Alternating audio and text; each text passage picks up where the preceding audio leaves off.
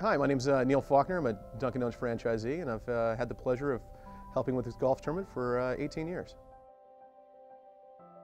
I got a knock on my door from uh, Heather Fortin, who happened to be a neighbor, and she uh, was looking for donations for a golf tournament fundraiser that she was uh, helping to put on for the New England Center for Children, and asked me if I might be able to donate a couple dozen donuts.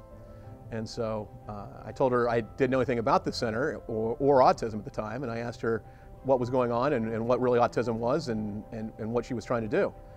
Turned out I thought I might be able to help out a little more than just a couple dozen donuts, and uh, 18 years later, we've been, uh, we're now at the 20th anniversary of the golf tournament, and we've, uh, we've raised a few dollars since then for autism. Dunkin' Donuts has helped to raise more than $2 million. Franchisee Neal Faulkner has served uh, regularly on our board of directors for nearly that long. And he's actively engaged at Dunkin' Donuts corporate as well as their franchisees in New England in support of NECC. We had opened the original store in Southborough about 20 years ago, and uh, Neal at the time was our liaison with uh, Dunkin' Donuts for the uh, brands.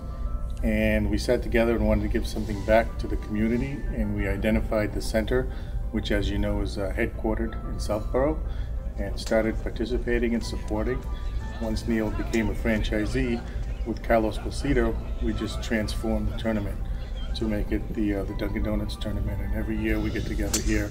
There's a big presence by the brand. The corporate folks are here, the franchisees are here, and we've raised millions of dollars for the center. We love working together, our brands and the franchisees.